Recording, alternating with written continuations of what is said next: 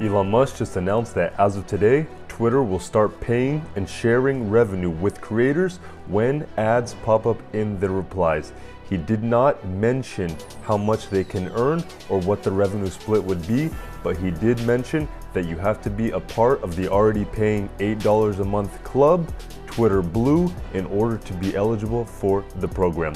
Some people are worried that it will only benefit the already well-known accounts, such as this user who asked, but how do you become a creator? Is that something you have to apply for? Please don't just give creator status to existing accounts with big followings. Innovation will come from the new accounts. While others think this is a phenomenal idea to take down TikTok by offering more opportunities for creators to make money.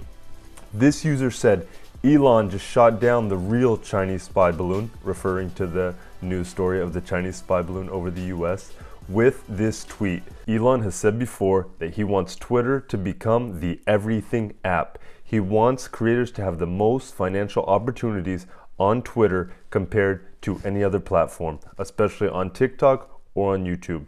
Whatever happens next, we'll just have to see. But this is great news, and I'm looking forward to it. Follow me on Twitter at Eastern Trend for daily updates like this.